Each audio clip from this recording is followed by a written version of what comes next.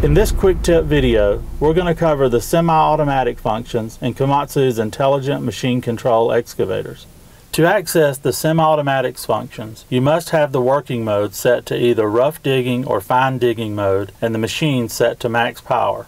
Once you have the monitor set to the desired working mode, press the semi-automatics button located on the top right hand corner of the monitor. You will now see a message in the center of the screen that says semi-auto limited digging mode.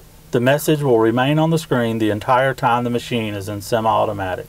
Auto grade or auto leveling assist is engaged when the arm is operated. When the arm is operated, the boom automatically raises so that the bucket does not dig deeper than the design surface. Because the bucket is a 3D object, it will keep whatever part of the bucket closest to the design surface on grade.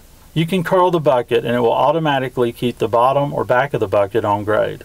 You can keep the boom control pushed all the way down while operating the arm and no part of the bucket will go below grade and the machine will automatically raise the boom as needed to maintain finished grade.